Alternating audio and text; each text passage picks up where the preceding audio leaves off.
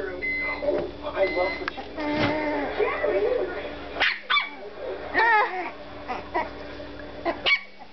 All we have to do is advertise our shop like she advertises hers. When are we going to find a dude to wear a ridiculous costume for us?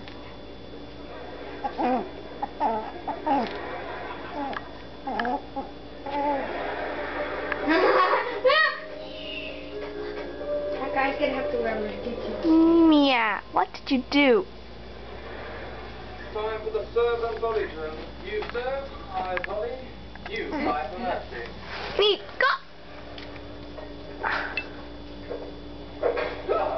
Mimi!